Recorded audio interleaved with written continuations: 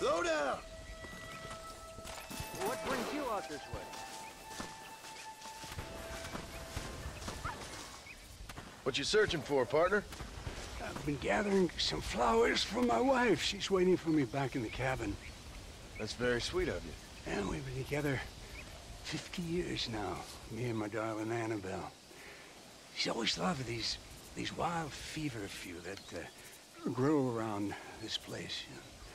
But she's, she's getting on now in years, and it's hard for her to get up and about. So I I want to I want to bring her a lovely bouquet for our anniversary.